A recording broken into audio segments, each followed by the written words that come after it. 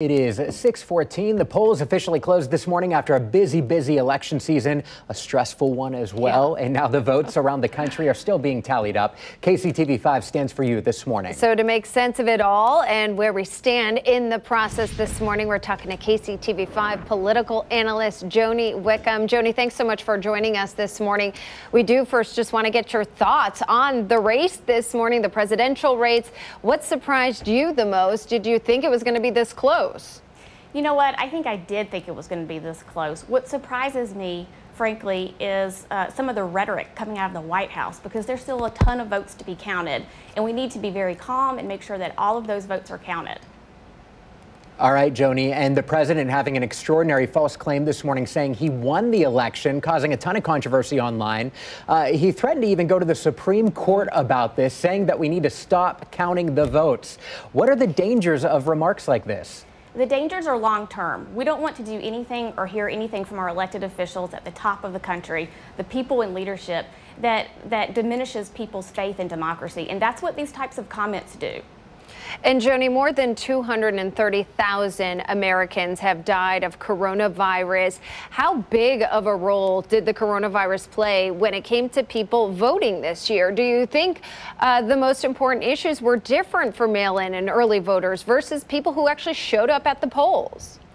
I do. I think the coronavirus had a tremendous impact on turnout, the types of people who turned out early, and also what they brought uh, to the ballot box when they did cast those votes, which is why we really need to be sure that every vote is counted and that we don't draw too many, too, too many conclusions too early because there's still millions of votes out there across the country. Do you feel like the president was able to shift the narrative away from the coronavirus?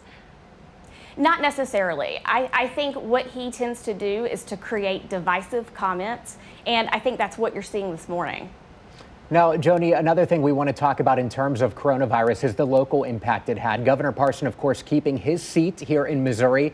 Does this show the majority of people actually handle his approval of coronavirus here in, in on this side of the state line? I think what it shows is that we are a deeply divided state, and um, I hope Governor Parson finds ways to bring Republicans and Democrats and voters in suburbia and rural Missouri and urban Missouri together. And Joni, looking ahead to the presidential race, back to that as well, because we know so many people are concerned with this this morning and have their eyes on it. What do you think the biggest thing we need to be watching right now? Do you think it's going to come down to one or two, two of those battleground states, and which do you think is the most important? I've got my eye on Pennsylvania. I'll be watching mm. Pennsylvania very closely. I also think it's interesting. This is fueling a lot of anxiety, I think, globally also. What is the impact going to be for this race? Globally, everyone is watching this. Um, it's going to really depend on how our neighbors see us and the type of leadership they see as important to the American people. This is a critical election globally.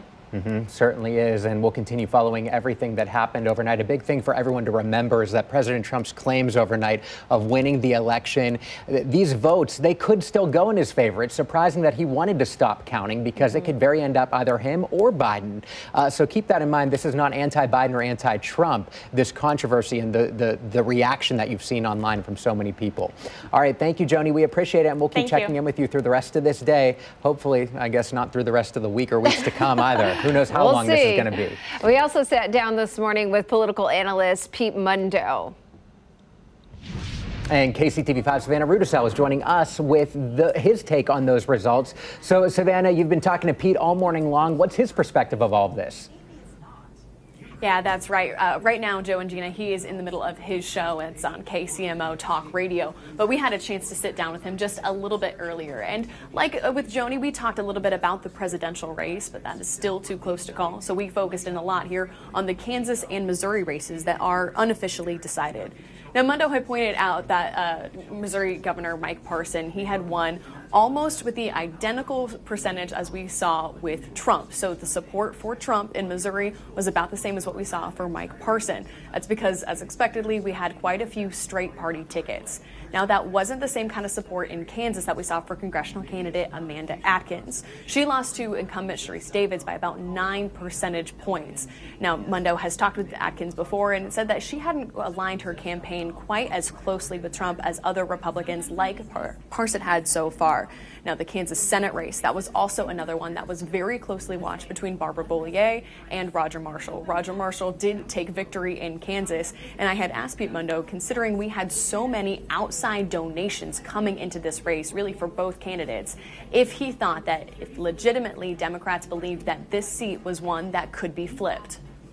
Well, you're seeing some shifting around the state. Johnson County has gotten a little bluer but then you've seen other parts of the state get redder, and that is balanced out. So you're right. There there are different trends within the state happening, but uh, it's evening itself out because of the numbers that you just shared. So there's there's something happening in Kansas that's certainly worth looking into, but it's it's not happening overnight, and the shifts are enough in other parts of the state that it's offsetting what's happening here in the metro. We're going to be listening as well to KCMO Talk Radio. That's on 710 AM and 103.7 FM. We'll be listening into callers for reactions to Pete Mundo's takes as well and for more of this political analysis. Reporting live in Overland Park, Savannah Rudisill, KCTV5 News. There's just so much information coming in minute by minute. It's nice to have some analysis this morning. Savannah, thank you.